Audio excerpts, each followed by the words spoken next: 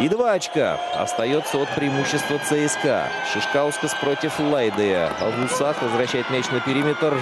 Планинича выводят на минус шести. Казанцы начинали третью десятиминутку.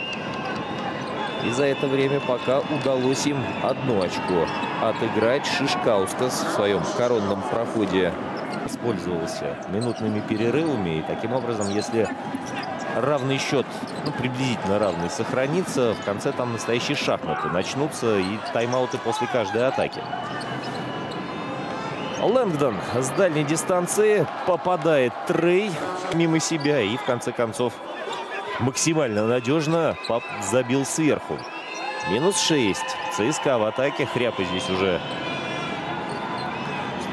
узурпировал ложу разыгрывающего на периметре Планинич. В угол на Лэнгдона и Трей вновь в точе. Его может быть в хитрости, но значительно уступающему в росте и габаритах.